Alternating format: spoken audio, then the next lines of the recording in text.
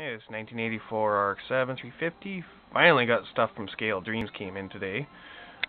This is my bare metal foil, the gold. The ultra bright chrome. And new improved chrome. Also got what they call is detail ready to use washes for tinting stuff. Uh, like plastic clear and rims chrome and so on. I got red, yellow, black, um, green, and blue. A few other things that came in is all my flocking, which I've got one, two, three, eight colors, you know, from red, black, charcoal, so on, all those colors, common basic colors.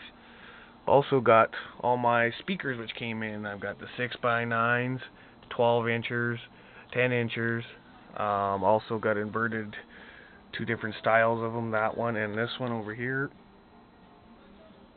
And I also got a set of uh, Recaro speed seats, bucket seats, as well as many different amps of dual kickers, uh, Audiobahn, and small kickers, and another small kicker amp, and a Rockford amp, and laptops, and a PlayStation 2 controller and uh, so on. And also got in 23 inch chrome braking calipers as well as some um, I guess what you call chrome knockoffs for uh, your rims and that the common type I like another thing I wanted and I got is some uh, wire looms uh, photo etched you know out of metal don't know if we can get them clear enough. It's pretty hard to see. They're really small for your spark plug wires and all that kind of stuff.